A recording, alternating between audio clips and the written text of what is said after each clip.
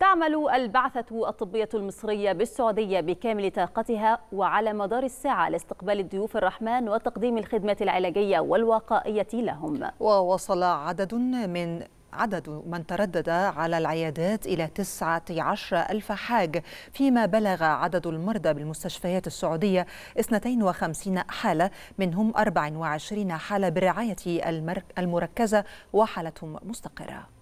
بهدف الوقوف على الوضع الصحي للحجاج المصريين عقد رئيس البعثة الطبية المصرية اجتماعا لأعضاء البعثة ورؤساء الفرق الطبية العلاجية والوقائية ومدير العيادات لاستعراض خطة ما بعد المشاعر في تقديم الخدمات العلاجية لضيوف الرحمن أينما كانوا بالعيادات الطبية والوضع الصحي للمرضى بالمستشفيات السعودية.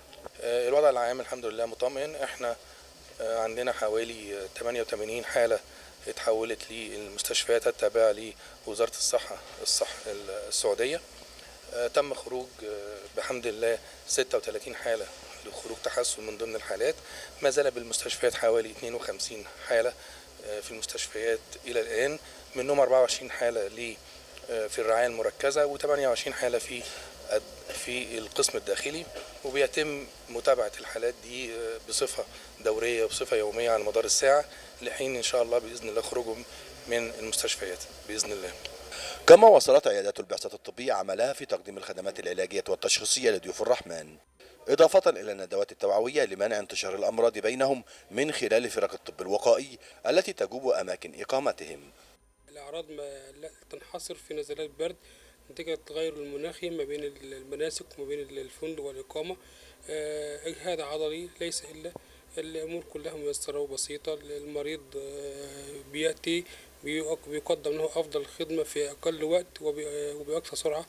ونحمد الله إن إحنا متواجدين 24 ساعة في المكان. كذلك بنقوم بعمل المساحات الاستكشافية للحالات. بنعمل مسحة الانف لاشتباه الكوفيد وبنشوف الحالات لو محتاجة أي إجراء طبي زيادة وبنتابع التشخيص بتاع الحالة. كمان بنتابع نتيجة الحالة ونعمل متابعة كل ثلاث أيام وبنتابع المخالطين لكل حالة وبيتم عزل أي حالة يثبت إيجابيتها لحالات الأمراض المعدية عندنا. وبيتم فرز حالات الأمراض المعدية عندي يتم فرز حالات الأمراض التنفسية. كذلك بيتم فرز حالات الأمراض المعوية ويتم التعامل معاها طبقا بالإجراءات الوقائية وبيتم بإكمال الإجراءات الوقائية لكل الحالات. قبل ما يخرجوا من بره مصر من التوعية الصحية الشاملة ثم بعد مجيئهم هنا سواء في مكة أو في المدينة خاصة في أنواع الأمراض المختلفة زي الإجهاد الحراري ضربات الشمس التغذية الصحية اللي المفروض الحاج يتوفر لها كيفية التعامل مع المناخ خاصة إن المناخ بيتغير طبعا هنا عن الأراضي المصرية قبول واستحسان من قبل ضيوف الرحمن لما يقدم لهم من خدمات لوجستية وطبية من قبل البعثات النوعية وبخاصة الطبية المصرية.